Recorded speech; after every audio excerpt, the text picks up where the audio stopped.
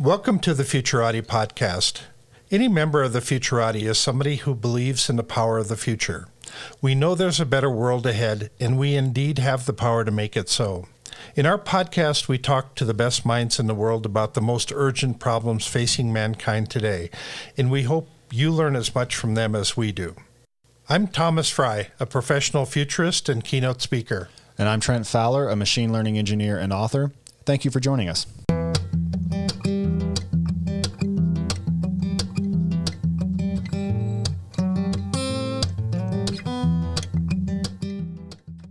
Good evening, everyone, and thank you for listening to the Futurati podcast, where we dive into how emerging technologies will impact the world and your bank account. From Jeff Bezos and Elon Musk to Vitalik Buterin and the unknown Satoshi Nakamoto, some of the most influential and impactful people in the world are the founders of startups. These people have the courage and vision to embark upon uncertain ventures which permanently change the world. But though much is written about how they approach business or stay productive, much less time is spent on understanding how they function psychologically. Tonight's guest is among the leading experts in the world in just this subject. Gena Gorlin decided to pursue psychology after realizing that her ambition in life was to discover how to enable people to achieve greatness in theirs. Today, she is a professor and licensed psychologist in New York City, where she unites art, science, philosophy, teaching, and practice in the common aim of helping people become their noblest, most sublimely joyful selves. If you enjoy this interview, please subscribe to the podcast and share it with your friends. And don't forget to check out our website, futuratipodcast.com. Gena, thanks so much for coming on the show.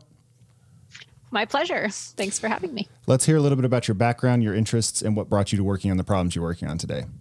Sure. So, my background is in clinical psychology primarily. So, I have a PhD in clinical psychology. I did internship residency, postdoc, got a, a tenure track faculty position in New York as a clinical psychology researcher, you know, teacher, supervisor, and then you know practitioner, licensed psychologist.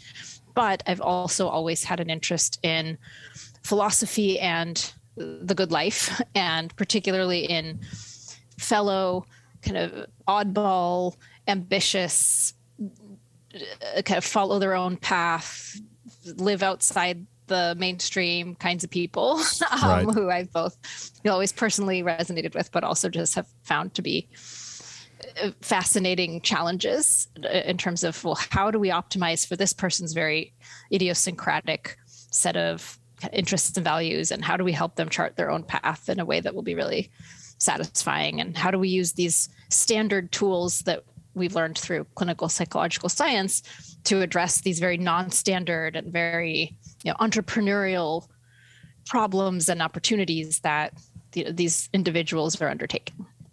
And so that's brought me to the work i'm currently doing which really applies the synthesis of philosophy and clinical psychological science to the challenges of founders, entrepreneurs, ambitious people.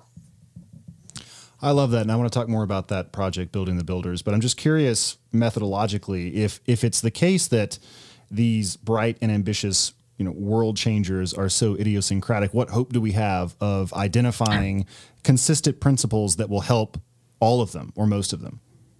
Yeah, that's a great question, and I think we have lots of hope because a they're human beings, and I think that there's a critical mass of knowledge that we have accrued both within social science and within philosophy and within literature and within the humanities broadly about human nature both you know as it is and as it could be about both you know the kind of descriptive questions of what are the kinds of biases that derail people? What are the kinds of motivations that we see particularly in certain contexts or you know as moderated by certain personality styles, right? And then we also, I think, I've, we've learned a lot, although often across different disciplines that don't talk to each other very well. But I think we also know a lot about uh, what kinds of goal pursuits, what kinds of, what ways of approaching one's life, what kinds of virtues and skills and choices lend themselves to a life that flows really well for the individual who's living it and that tend to actually deepen knowledge versus just kind of send us in the in you know wheel spinning circles of deluding ourselves or reinforcing our own biases, right? And so I think there's a lot that we know that does universalize, but it really is at the level of broad principles that often have a conditional format to them, right? Like when encountering a you know, belief disconfirming piece of evidence, here's a way of approaching it that will tend to lead you down a better road versus a worse road. Right. And, uh, you know, when doing something really hard and when encountering your own weaknesses you know here are different approaches that when people take them tend to lead to these different outcomes and so on so it's always occurred to me that in an academic setting that that's not a good environment to train entrepreneurs uh, because yes. an academic setting is a safe it's, it's, a safe yep, environment yep. and being being an entrepreneur starting up a business that's anything but safe and Indeed. and so much of being an entrepreneur is actually uh, the emotional side of business um, oh yes. So if, if if as an example you need to go and fire the head of marketing who happens to be your college buddy that you you spent the last eight years with. Uh, but that's the weakest link in the whole business that you're trying to get off the ground. That that's an yep. emotional thing that's really hard to deal with. Or just watching your own bank account go to zero, that's debilitating for so many people, and that's that's, that's right. very difficult to teach the emotional side of business in an academic setting. Um, your that's thoughts right. on that? I feel very uh, resonant with what you're saying because in a way that's the challenge I've been solving for and why I have sought my own you know outside the box uh, off kilter entrepreneurial ways to actually coach the entrepreneurs in their own native environments you know within an incubator that I've been really fortunate to work with Entrepreneur First um, and you know within their actual ventures and in the if you will ecologically valid context to use one of our you know academic sure. kind of jargony terms for right. like in the actual world where they're trying to pursue these real ventures that, where there isn't just the where what's at stake is not you know getting paid 20 bucks or getting credit for an experiment in your psychology class right which is ultimately all that's ever at stake in most of our psychological experiments right. and i've been thinking about this recently like everything we think we know about human nature from standard academic you know, psychological experiments we know based on things we've had people do where the stakes are you get to leave the room in an hour basically unconditional upon anything you do or say and you get a few bucks and right. or a credit toward your class like what you know how important and how generalizable are those findings actually right. going to be right so yeah so i'm very much with you and i think we have to get outside the academy and we eh, and with that said i mean there are plenty of ways I've learned over time there, there are ways to be more or less entrepreneurial about academia and within academia, I, but I don't think that that's what it tends to pull for. And right. I think it takes creativity to figure out how to do that kind of scientific research in the settings where you know where the stakes are high and the emotions run high as you said. Could you tell us a little bit about your work with founders? I'm familiar with your your substack on it and i've listened to a few of your podcasts but i don't actually know much about what the day-to-day of that looks like. Yes sure. Well in a way it's an ever-changing uh, experiment but my work really started in full force when i was fortunate to begin this collaboration with Entrepreneur First, which is uh, a startup accelerator in Europe. It's London based, though now really international. And its model is somewhat unique in that they focus on helping founders find co founders. So they okay. bring together cohorts of a mix of really impressive de- technical people with you know phds in machine learning or in like biotech or in whatever kind of you know, kind of deep technical knowledge would be conducive to doing something really new in the technical space. And then more commercial people who maybe they've already had a successful exit or maybe they're they're really well connected to an industry uh, or whatever the case may be. And they create this eight week pressure cooker where these where the cohort comes together and people team up and break up really quickly and try to ideate together and actually start validating or invalidating hunches for potential business ideas. And as you might imagine, oh, and then at the end, if they've managed to find a co founder within their cohort after eight weeks and to develop a business idea that they can pitch to EF, which is you know ultimately a VC, right, and an investor. Mm-hmm, mm-hmm. They can pitch it to EF at the end of this sort of trial period. EF then decides to invest in a certain percentage or you know proportion of the companies that form, and then they help the, those companies which are still pre-seed at that point. They then help them to you know really develop the idea and start to fundraise for a larger seed round, et cetera. And so I came on largely to help them with the emotional uh, dimensions and just the interpersonal dimensions of trying to do all of this in this short period of time. Because you can imagine, as scary and difficult as breakups are in the, the, the real world where right. the timelines are long, right? Imagine you're doing something really, really intense and emotional and important and potentially life changing together. And then after a couple weeks you decide you know what this isn't working out. We got to break up. Mm-hmm. right? And you're encouraged to do that. And i think in a way that's a real strength of the program that it's actually destigmatizing breakups. And i think it's just such a powerful framework right? But it's still so so hard for right. people to actually lean in and to have those hard conversations and to do it you know quickly and to be authentic with each other when they've just met. They're strangers. And so i've been brought in to help with all of that. um, but also in the process, and it's just been such a rewarding experience for me.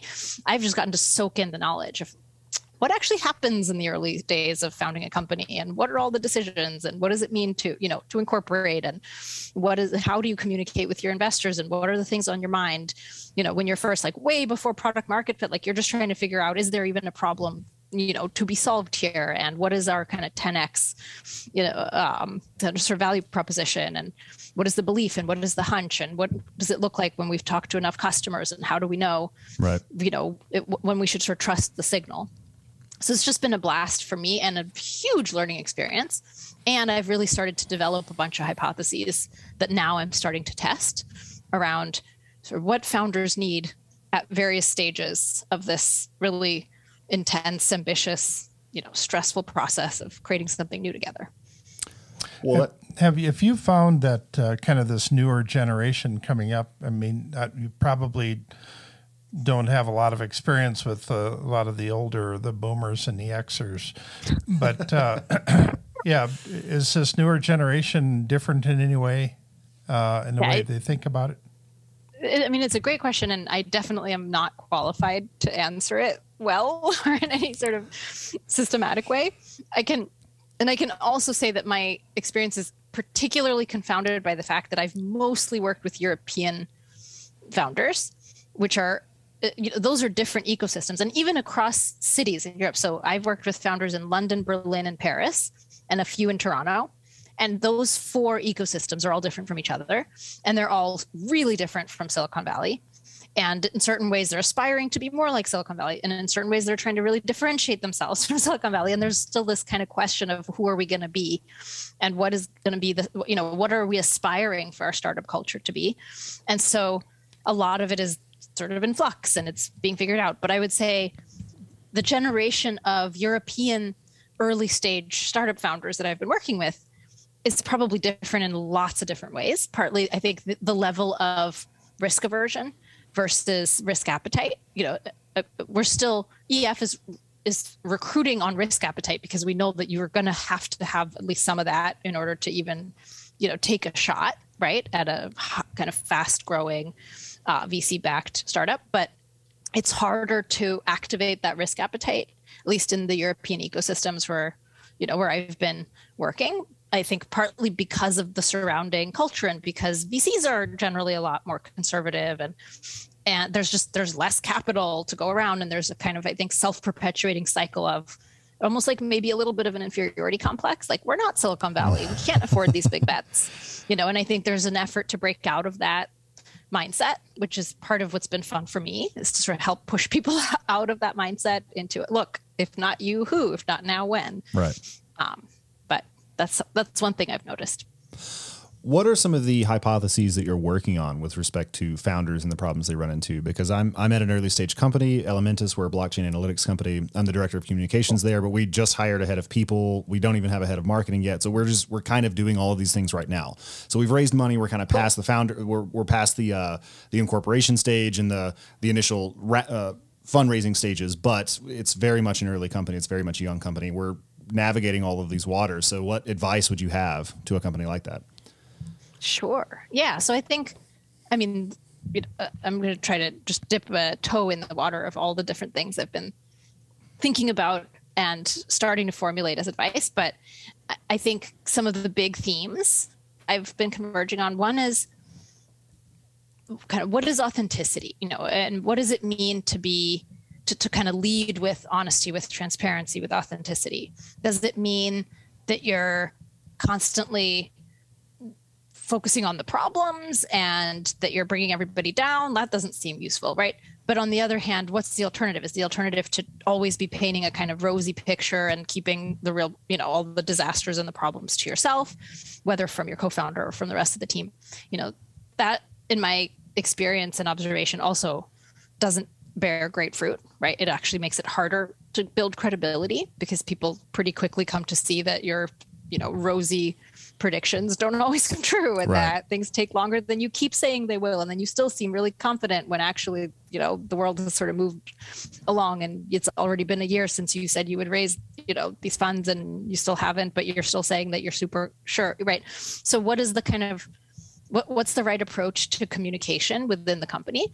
And i have found that there is a builder's mindset kind of way of approaching that communication where you're a visionary and you're an honest visionary where you know there's a reality orientation. There's a kind of i've just been reading the kind of classic book good to great you know mm-hmm. where Jim Collins and his team studied a bunch of these companies that like exploded and massively grew in their um, you know profitability and other companies that started the same and then kind of just languished. And you know he talks about this synthesis of facing the brutal facts and quote never losing faith i wouldn't necessarily put it that way because i don't think it's about faith i think it's about conviction i don't think it's right. arbitrary right. but like there's something that you believe such that and you believe it with based on a lot of data gathering and a lot of the, observation of the world right and and expertise in your domain over time such that you're you still see this as worth doing despite all the uncertainty despite all the real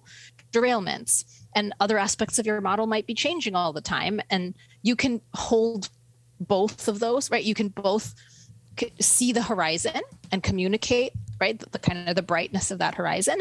And you can be looking around you and keeping an eye on the road and saying you know and, and kind of being really transparent about guys we're probably not going to hit this target. Or right. you know we're going to really have to hustle if we hope to raise even half of what we had originally uh, you know promised ourselves or whatever the case may be or this tech is actually way harder to build you know or we thought we had product market fit but actually you know we're getting these signals that tell us we may need to pivot and and sort of being in that bullpit together and building mutual credibility that yeah we can face brutal facts and not lose sight of the larger conviction so long as you know it still remains credible. Can I ask you a follow up to that? So I am, am, totally with you with respect to the importance of maintaining a reality orientation and being honest with yourself and with everyone else. This is a basic virtue. But I don't know how to square that with these famous examples of visionaries like Steve Jobs or Elon Musk who have these reality distortion fields or who perpetually overpromise and it doesn't work out, but somehow it still does. Like they don't hit their targets. You know, Musk didn't succeed in building a rocket in six months or whatever he said, but he still he got it done. And and I wonder sometimes if maybe those unrealistic expectations push people to work harder than they otherwise would. And so you've got a sort of self fulfilling prophecy dynamic there. So, how do you square that with honesty? Is there just more happening there, or do some people just get a pass from reality, I guess? It's a great question. Yeah. So, I just interpret those people and their approaches differently. Okay. I don't actually think, you know, and I know that there's a whole kind of developed view about the reality distortion fields. And, you know, there's in my field of, you know, psychological, especially in the social sciences, there's this whole you know many decades worth of research on how we all supposedly self-deceive all the time. Right. We're calling that that's all based on undergrads sitting in a room for an hour right. you know getting paid 20 bucks at the end of it. Or rats. Right? Or, or rats for that matter, indeed. Um, so my read, for example, so on Musk, and I think that's a great example. You know, whatever else we could say about his antics, you know, on social right. media, whatever. Like he actually he famously doesn't overpromise. Like he'll say things like like he gave SpaceX of what 30% shot at eventually succeeding in its mission. Maybe or 10%, not 30. It was 10%. Something, I yeah. get him confused sometimes with I think Bezos gave Amazon a 30% chance and I, you know, I'm getting lost in all those statistics now. But I think Musk for both Tesla and SpaceX when he was getting started. And he was open about it and he's, you know, quoted in many interviews and you could hear him saying it like, I don't know, maybe a 10% chance we'll actually manage to send humans to Mars. But that's a chance well worth taking because if we do, then we have now enabled, you know, human space travel to Mars. And if we don't, at least we'll have figured out a bunch of ways that don't work and we'll have moved the needle forward because clearly this needs to be happening. Like this is a mission worth pursuing. Right. And i want to be part of that. Right. And and the thing is like i think he was more inspiring to more people because he framed it that way and didn't bs you know his way through. Oh yeah no definitely. We'll send people to mars in a week right. or in a month or mm-hmm. a year or whatever. Like no probably we won't. Like we'll probably fail. And you know what? That's fine. I want to do it anyway and here's why right and i think jobs is actually in many ways deeply similar. Like I, I think when he promises, and, and of course, oftentimes you'll still be off in your predictions, right? But I think if anything, you know, Jobs is often described as sort of ruthless and as you know, kind of hard driving, right? And partly, I think because he would face the brutal facts and he would kind of call things out for what they are, both in himself and in you know his team. And you know, we can argue about whether he always did that in the most tactful way, but I think like he would be the first to say, like, guys, we're under like we're not hitting our target here. And I think that's part of what made him great. Yeah. So when you when you talk about solving a problem, and that's the goal of most businesses. There, there's also the other side of the equation, which is advancing civilization.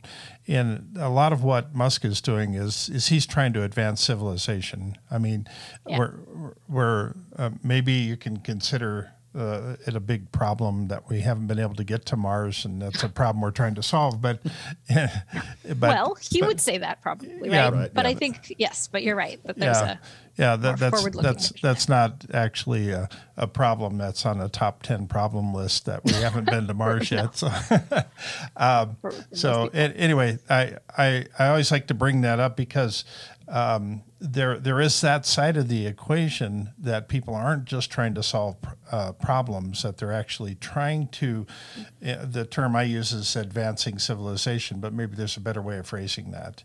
Hmm. uh, have you given thought to that that's really interesting it, as I'm hearing you say it I'm thinking like my first gut reaction is yeah I probably am going to think that that's a first uh, sorry a false dichotomy but maybe I'm wrong, and let me unpack that a little bit. Because when I think about a what what even counts as a problem worth solving, whatever counts as a problem worth solving, how do we decide what problems are worth solving? And and then you know if we take it from the other angle, like what does advancing civilization mean? Advancing toward what? And both of them seem to converge on the same point, which is our problem is how to not go extinct at the end of the day and right. how to you know like right. how to thrive and flourish and you know cure the diseases that will or, or, vaccinate ourselves against the diseases that will otherwise wipe us out and shorten our lifespans and all of the innovation and all of the progress that humanity has achieved has been in service of that aim fundamentally right? Like what does it mean to advance like being able to read and write and to build skyscrapers and to create advanced medical technology? It all ultimately it serves the aim of improving the human condition of either making us more resilient against threats or allowing us to make better use of the time that we have or allowing us the you know the kind of the concentration of resources to be able to do something that's actually going to be more ambitious and long range that then will help but will help free us from some of the threats or just you know the kind of daily grind that makes it hard for us to fully leverage our creative capacities right? Like it's all in service of solving the problem of human life and flourishing. So i guess right, right. I, I, think they're just at different levels of uh, of abstraction. Yeah that's maybe. a great answer. Thank you for that and, and, I think it's worthwhile pointing out that just business in general moves civilization forward. I mean, it's not always that grandiose. If if you're running a dry goods store, you- you're probably not waking up every day thinking that you're advancing civilization. But I mean, there's an important sense in which you are. Like civilization, the edifice of civilization is made from those bricks. It's not all SpaceX and Blue Origin, right? And and there's nothing wrong Yeah. with just running a small town grocery store or something like that, and just and doing a damn good job of it and being happy at the end of the day. beautifully put or for that matter just being a grocer being a customer service person right? Or like being the clerk at the grocery store. My life is enhanced by the really excellent grocery clerks and by the really excellent you know the people who actually are like attentive Or and the, the actually greeters, noticing the, my needs the greeters who really Yes. like their job, or the TSA agents who are really happy to be there and just like mix it up with every, with everybody going through the line. yeah what a like- rare and precious gift I was like, thank you for loving your job. Like, the, like this whole experience has been so much better.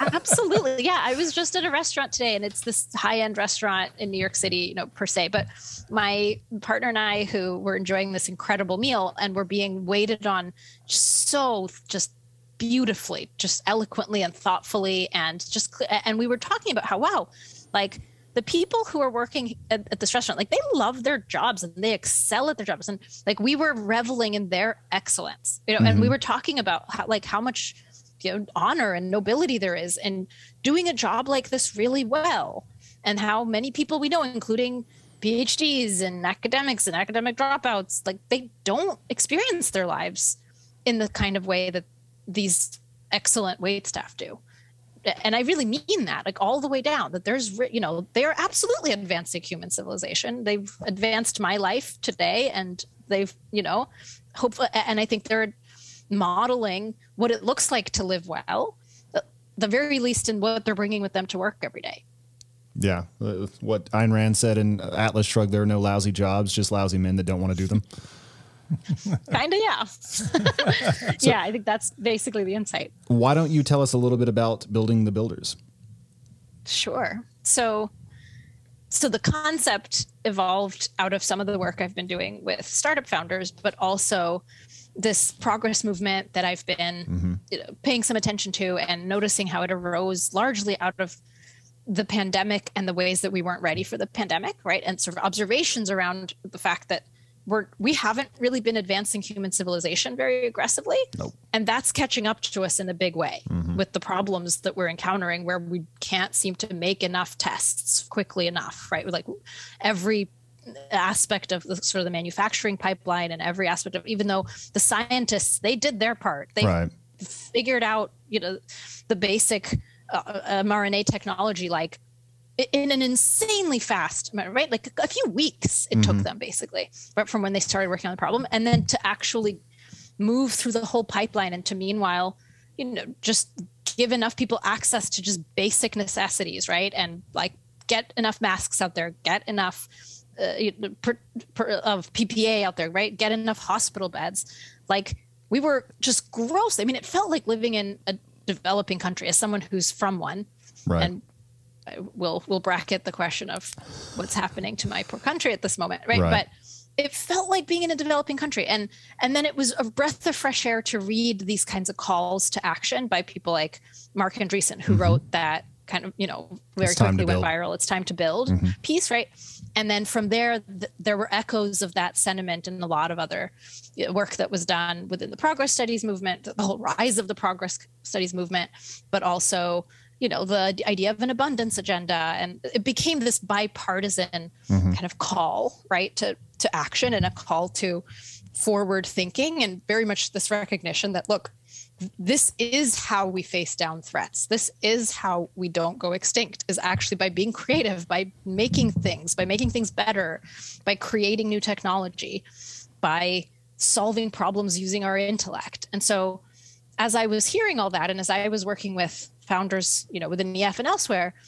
the the themes started to converge for me and i realized okay well what i'm trying to do is build the builders right, Right. that's my contribution to all of this if i'm going to have one is that you know i'm interested in well what is it that actually motivates and inspires and guides people through the work of building? Because it's really hard right? Part of the reason we haven't been building is we're depressed and anxious and we don't have the confidence to go out and try something new. And we feel you know and we're risk averse and we're being told that it's not noble you know that, that, there are these other ways to contribute to society that don't involve building and that you know we should go into the public sector or mm-hmm. that you know, we're just getting all these mixed messages. And you know never mind their education sucks and that makes it even harder to think about anything clearly because we don't know very much but then we grow up and we're sort of trying to navigate this world where psychologically there's a lot of roadblocks in our way and so that's what I'm trying to help with is just clearing some of those psychological roadblocks and so, building up some of the psychological strength. so, so one of the big problems is that Hollywood has painted an unrealistic picture of. Um, I mean, in the movies and the television shows, it's always Jeff Goldblum comes in, and in about 15 minutes, he's solved the problem. And Jeff yeah. finds a way. Yeah, and then we we get frustrated because it takes us two weeks to solve the problem, but he does it in 15 minutes, and, right. so we then uh, consider ourselves a failure because we we couldn't act that fast. Um, yeah, are are we living in a distorted world because of some of the things like that? We have these unrealistic pictures of what things actually look like in real life.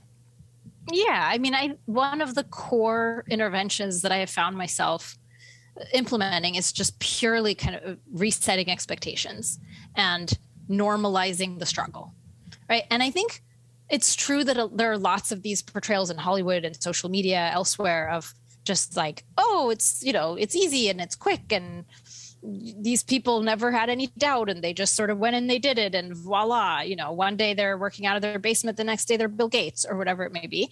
But in fact if you dig a little bit there are also all kinds of accounts of how much they failed and how much right. they struggled and mm-hmm. how many times you know steve jobs getting fired from his own company and having multiple existential crises even when he was really successful and you know ben horowitz one of the books that really inspired me when getting started with all this was uh, the hard thing about hard things by ben horowitz where right. he describes the struggle capital t capital s that every founder has to go through in order to get to greatness according to him at least and i think there's a lot to it and it it sounds a whole lot like severe depression in parts you know just that like you feel completely ashamed of ever having dragged anybody into this with you and you just you like you can't understand you can't tell anyone else why you started and frankly you can't really even remember yourself why on earth you ever thought this was a good idea and you're tearing your hair out you know and you wish you could get away on vacation for a week but you know that wouldn't solve anything because you would just end up crying over your failing startup the whole time and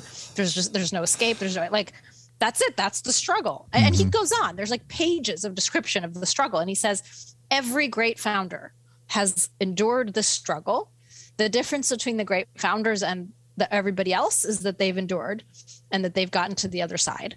And there are lots of examples like that but it's sort of like if you've got to dig for them you've got to find them and i think there's a mindset that uh, that makes those examples stand out more and be more salient right? There's a kind of growth mindset around what it takes to build something hard, that it's not the default, right? That the default is failure, that the mm-hmm. default is the status quo, and you're trying to break the default. You're trying to push against the default. That's really hard. Right, you're right. going to fail a bunch and it's messy and it's iterative. And I think just painting a picture of that reality is a huge part of the work of, you know, building builders. That's fantastic. Um, I wanted to ask you a sort of follow up to that. It, it's it's about how great founders are able to think from first principles, and I pulled this from your chat with Tal Tzfani. Um, people oh, cool. like uh, Jeff Bezos. And, yeah, yeah, I did. I and, and read two of your papers, um, which which perhaps we'll get time to to talk about. Um, yeah, people like Elon Musk and Jeff Bezos are famously able to get to the heart of the matter, uh, to sort of discard the assumptions that have accreted around a set of problems in a field and to reconsider it from just the basics. And it sounds sort of simple when you describe it that way, but as anyone who's ever tried knows, it's actually pretty difficult to do. So, yeah. does that just come from uh, independence or confidence, or is that a learnable skill? And if so, what are the what are the aspects of acquiring it? It's a really good question. So I don't. When I embarked on a kind of study of first principles, I didn't really know the answer to that question at all. In fact, I had a bunch of wrong answers to that question because what I observed was a bunch of my founder friends and like people I really admire who are building stuff. They they talk about first principles all the time. They Right. just keep saying it like it's just like, well, we're we're approaching it from first principles. We're building from, and I it sounds like this vaguely good thing to me, but I don't actually understand what they mean. Right. And so at some point, I did a deep dive. Like, where does this term come from? What is it like? How is it different from just like being rational or being principled or being independent, which it kind of seemed like vaguely it was gesturing at those things. And it took a few iterations for me to, I think, kind of get to the essence of it. And I think the essence is actually yeah, like, yes, you have to think independently. Like, yes, a lot of these other things are true. But I think the essence of it is to go deep Okay. believe it or not. The essence of it is to not only, you know, ask yourself questions that kind of lead you to re-examine your assumptions afresh, but try to describe what you know in a way that that captures and explains as wide a range of the different things that you've observed and that you know as possible. And you could do that in different dimensions. You could do it in time, like so the Jeff Bezos example is what is going to still be true for our customers 10 years from now 20 years from now? Like they're always going to want stuff that's cheaper. They're always going to want stuff that's good and stuff that gets there fast right? Like we know those things and we know we need customers. Like we'll never not need customers. The nature of the business we are. Whereas like technology comes and goes and competitors come and go and there are all these other factors but like one thing that's eternal that i can count on as a principle through thick and thin through a bunch of the different changes that might happen that i can't foresee is we need happy customers and customers are going to want you know all else being equal things to be cheaper things to be better quality things to be faster right? Let's really just make those our north stars right? Like our north star is customer obsession that's it and we're not going to get distracted by whatever all this other stuff that might seem shiny in the moment but like long term it's not actually going to achieve our fundamental aim which is happy customers. That's how we're going to profit. That's how we're going to grow happy customers. And and so it's sort of seeing through a bunch of the details a bunch of the particulars a bunch of the changing times to the thing that's sort of universal and going to stay true. And similarly you know it's seeing to the essence of like so the you know the famous musk example that he uses himself when talking about first principles is like when he rethought the question of how much is a rocket basically like what, what should it cost because at first he was just going to pay somebody to send a rocket to mars right? He just wanted somebody to do it. So he's going to go buy a rocket and have somebody, you know, pilot it. I don't know. Go to Home it just, Depot, I guess. as one just, does, You know, six months, whatever. Yeah. Exactly. Go to home. Yeah, exactly. No, but but legitimately, he wanted to know. Okay, well, what did rockets go for on the market? Like, you know, Home Depot or elsewhere? Like, who sells them? How much are they? And he got quoted these ridiculous, absorb- exorbitant rates of like tens of millions of dollars per rocket. And he and most people would just stop there. Like, okay, well, that's a fact of the world. These rockets are hugely expensive. I, you know, no wonder that there's no privately, you know, funded space flight. This is like only the government can afford this. So I'm going to walk away from it. But he started asking himself sort of deeper questions about like, what is the nature of a rocket? It's a, it's a mechanic it's a large mechanical object. It's made of stuff. It's made of materials.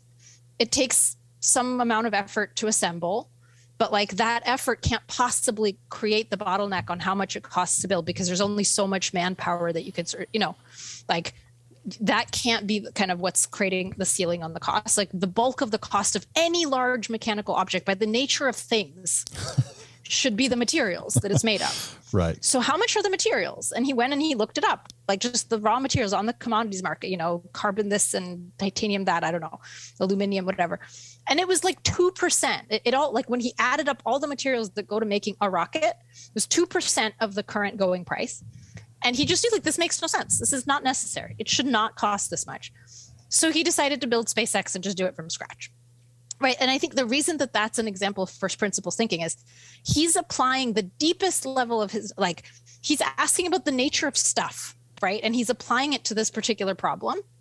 And so he's thinking at a deep level about like what is what are the fundamental truths that are applicable in this situation that can guide me in understanding in a really fresh way that nobody has really thought through before how to actually solve this problem He's distinguishing between the metaphysical and the man-made. kind of yeah in this case but i think the, the even deeper thing that we're doing when we're thinking in first principles is we're kind of going to the fundamentals we're like going to the you know, like we're we're applying we're either generating or applying really kind of deep broad fundamental knowledge about whatever the domain that we're thinking about to guide us in making our you know kind of particular decisions and choices. So another example would be you know my partner matt he runs he works you know on the executive team of a company that starts schools. Mm-hmm. and like they have a first principle which is an identification of of what it takes for human beings in effect to kind of develop to their full potential. Right. That there's a certain combination of unlocking their agency plus applying a certain kind of structure. And that if you can put those things together that if you can create a structure that activates agency then you're going to unlock kind of the full human potential. And that's it. And you know part of what i think characterizes the first principle is like it sounds fairly simple when you say right? It's like it's a short statement but that packs in a ton of knowledge and a ton of different possible applications and ways that that could look and can guide you through a whole you know it can guide you th- with toddlers and with teenagers. It can guide you through math and through science and through english and through pe right? Like it applies to a whole bunch of different contexts where you know where the particular decisions are going to look very different but you can still be applying the same sort of overarching lens if that makes sense Right. There's a, a technique that um, in the futurist realm called backcasting.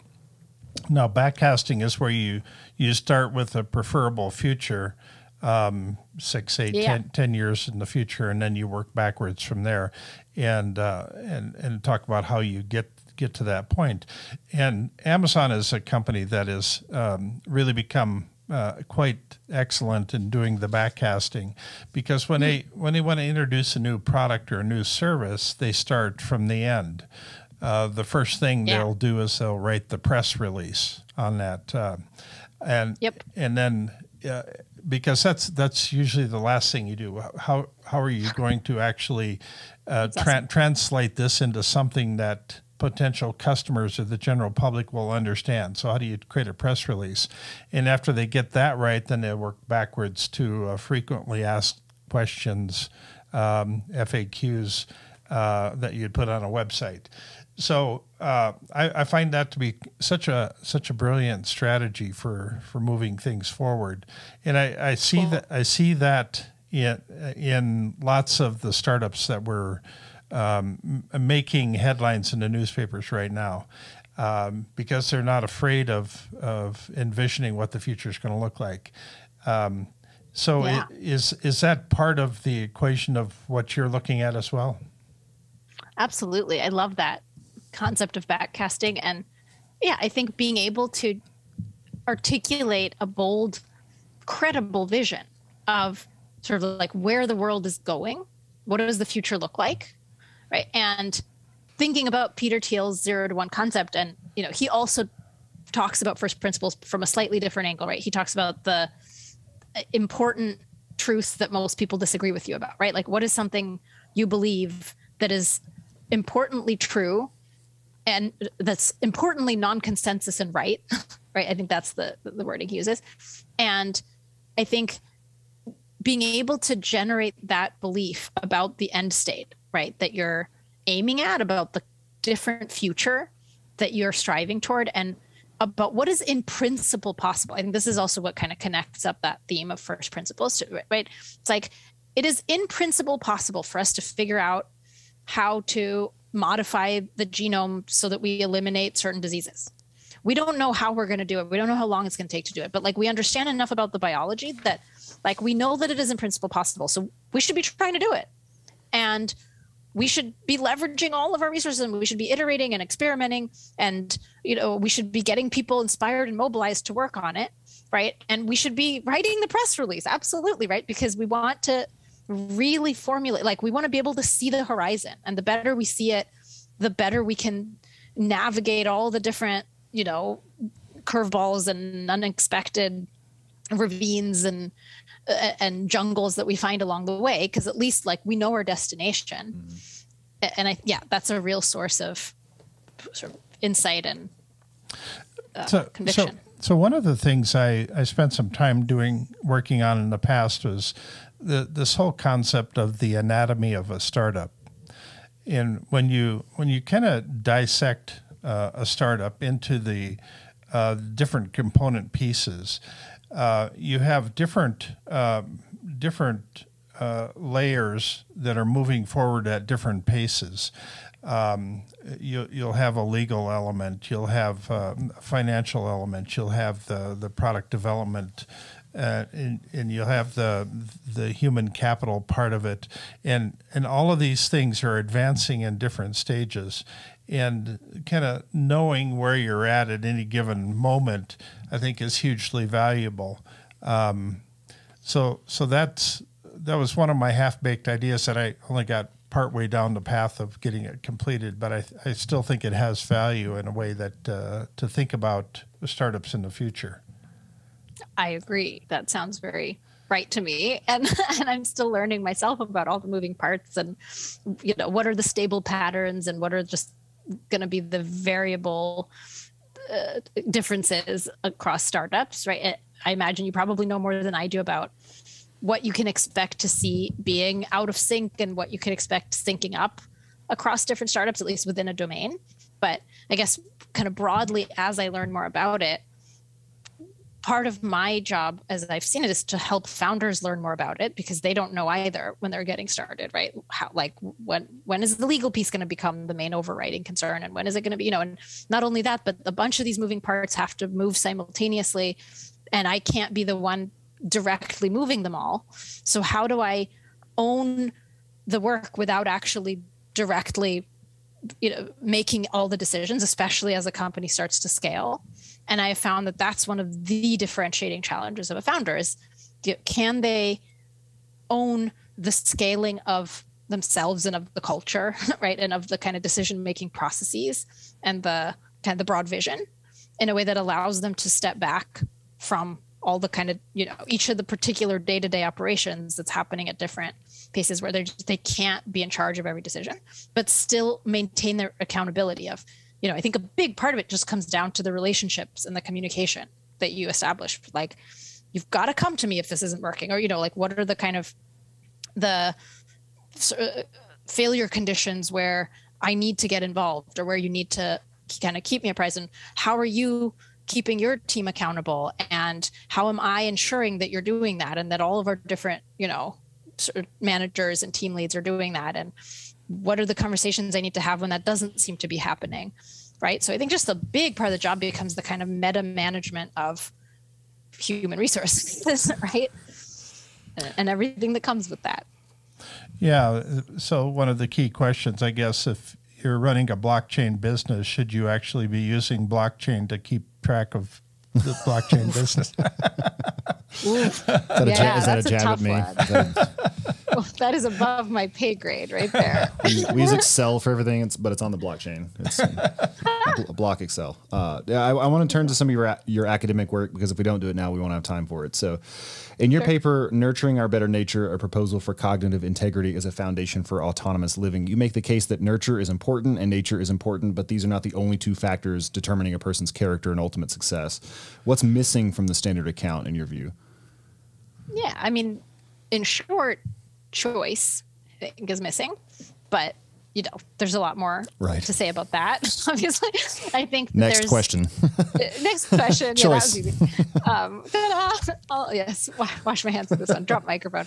But I mean, I think what's cool, what we get from the behavior genetic research and and models of human personality traits, you know, human behavior is that there's all of this unexplained variance. That there's for all of our talk about how ah you know g- genetics and uh, and biological science is going to explain away our free will it's going to explain away everything right. and we're just going to be you know cogs of the great evolutionary machine or whatever it's not coming anywhere close to explaining everything and in fact systematically we see that over and over and over again we get up to for most human personality traits complex behaviors you know characteristics we end up in roughly this 40 to 50% heritability range.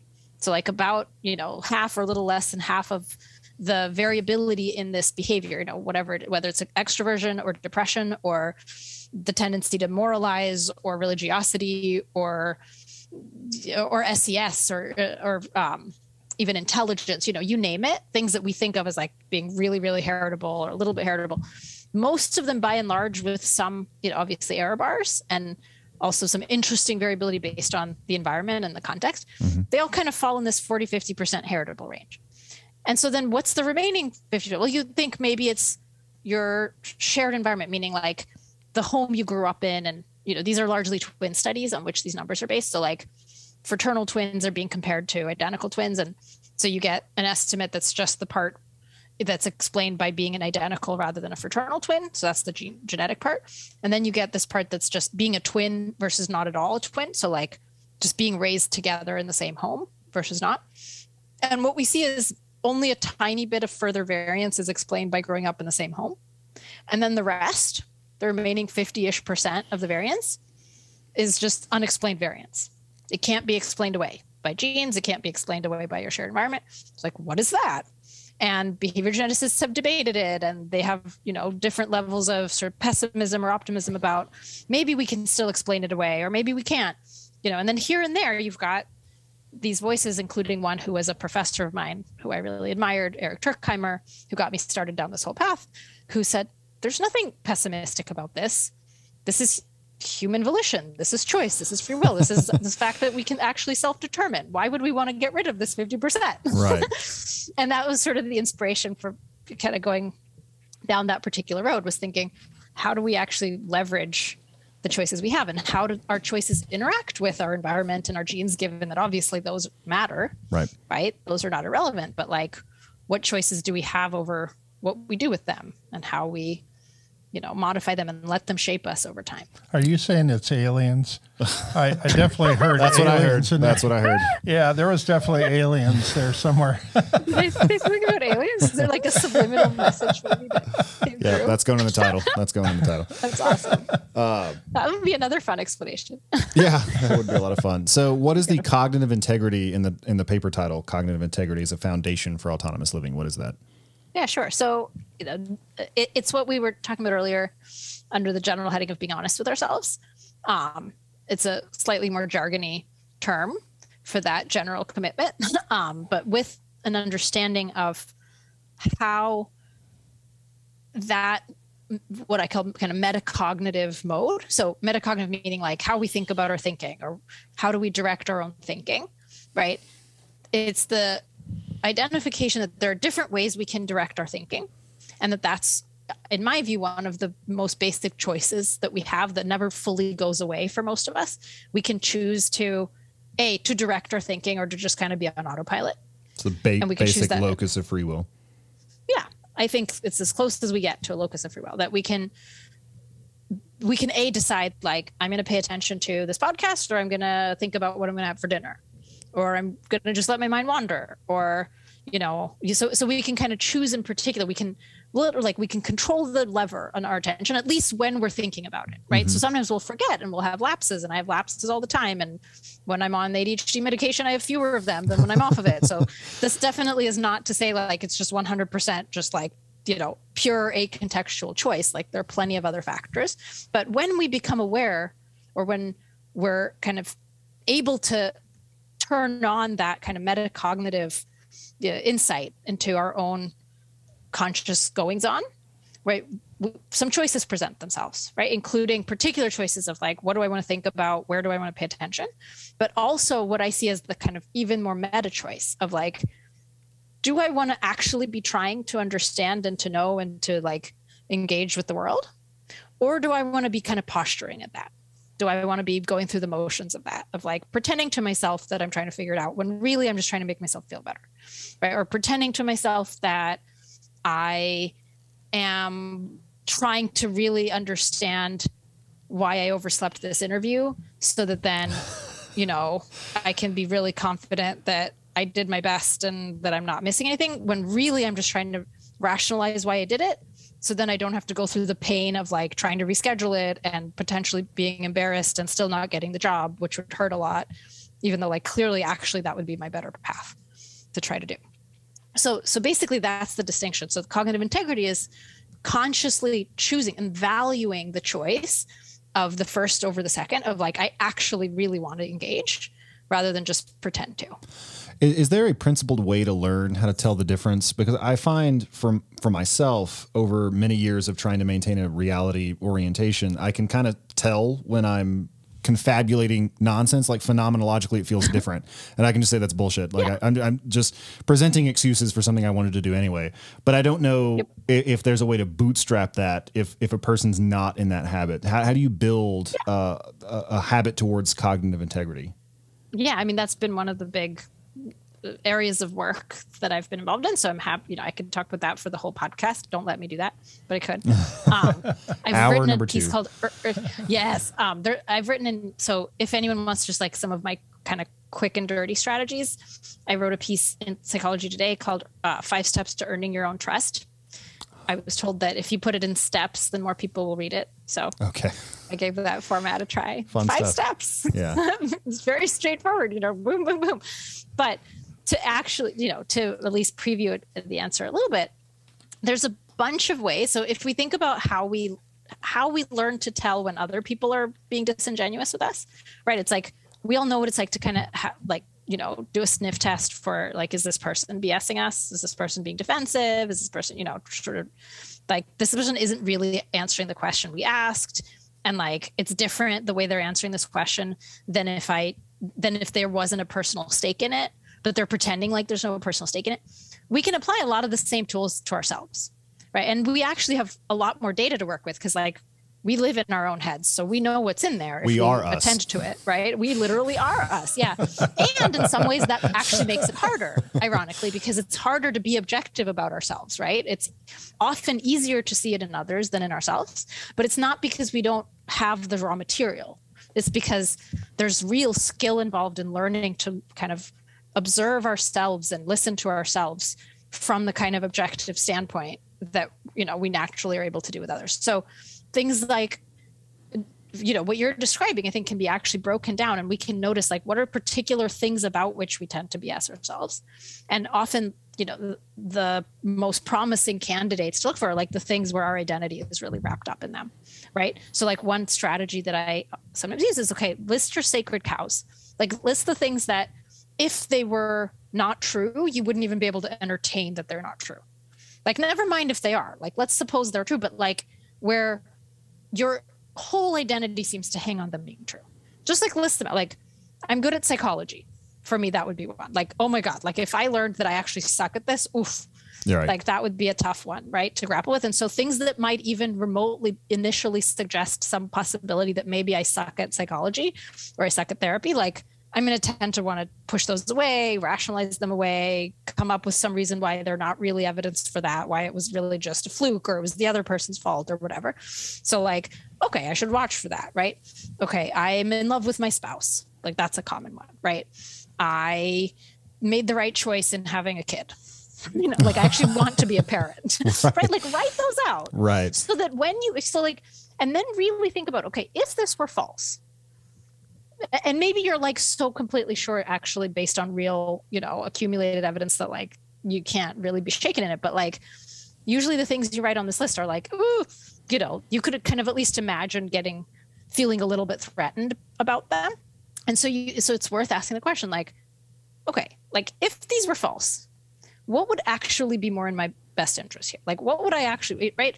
Or if there were some shakiness in that like if i weren't as good at therapy as i thought i was like what would actually be best like would i want to know that or, or would i want to not? Right? And then like really thinking thinking what's the worst case scenario there? Like that i actually have a lot more work to do than i thought and that it's actually a lot harder than i thought which like huh that sounds plausible now that i mention it. And like you know maybe we're all imposters because none of us really know what we're doing and it's just the beginning of this field where we're all kind of you know making stuff up and doing a lot of guesswork. And like in certain ways that would be really exciting. And i would probably be able to build better credibility with my clients if i could really own that and if i could actually you know be more vigilant for some of the things that i don't know and that i'm constantly trying to improve right? So that's a big way. It's just like name the sacred cows and like kill the sacred cows in terms of like having this be true is not more important to me than knowing what's actually true, right? Right. Like that is the one fundamental commitment that I can't negotiate or compromise on because as soon as that's out the window, none of this other stuff is real. So that's that's one strategy. Well, fantastic. Um, I don't think we're going to have time to get to agency via awareness. We'll have to reserve that for another uh, another podcast. But actually, I, that's one of my pet theories in psychology is that attention is poorly understood and underlies a lot of other things. Like I, I've long suspected that when we look at super talented people what we're actually detecting is not genius, although that can be a part of it, but an obsessive focus. Because you, you find that as a very common trait across people who super excel in things. They, they can't stop themselves from thinking about it. And I figure if you just took a relatively normal person and made them obsessed with physics and they just couldn't stop thinking about it, no matter what, would they be Newton? No, they wouldn't be Newton. But I bet you they'd be pretty impressive by the end of it. But having I've- set I've- all that up, Yeah, I've, I've always said that obsession is underrated. Yeah, exactly. Uh, I'm with you on that. having yeah, said all that I- I- out- although, yeah, no, uh, having said all that, and I won't take long because I know we're at the end of our hour, but I think you'd find that the hard part is figuring out well what actually motivates that obsessive focus to begin with, right. and then you get a whole unraveling. Yeah, Oh, you have, Question you have to be logical about it, Pulling really? on that thread. sorry, yeah. what a downer. take it up with metaphysics. Take it up with metaphysics. Uh, is there is there anything you want to leave us with? Ooh, Yeah, what gives you hope? That that was a popular one back in the day. Now I do. What do you want to leave us with? But back in the day, I did. What what makes you hopeful? So yeah, let's let's Oh, default. like that. That'll be an easier one. what gives you hope? when people genuinely celebrate each other's achievements and like mean it. I think oh, that That's a great. When I just, you know, even like on Twitter, when I see That- people just that's really, genuinely, really undefensively, Yeah. you know, just like being really happy for someone else's achievement, just like sharing the tweet about how somebody did something awesome, you know, that that always gives me hope. That's that's one of my favorite answers to that question so far. Yeah. Hall, Hall of. Fame for Hope, the Hope Hall of Fame. Well, Dr. Gorlin, thanks so much for joining us. My pleasure. Thank you for a great conversation.